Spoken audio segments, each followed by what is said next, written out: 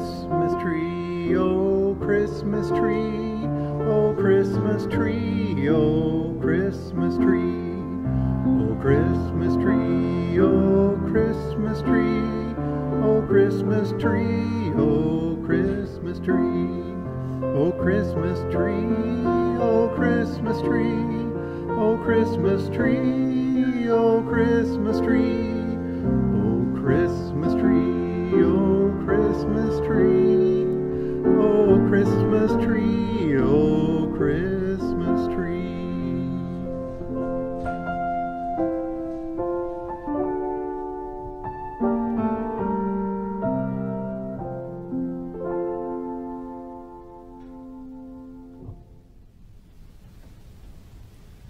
You know, the story about Jesus being born in a manger didn't have as much to do with the fact that there wasn't much room at the inn. It had more to do with the fact that Joseph's health insurance was HMO.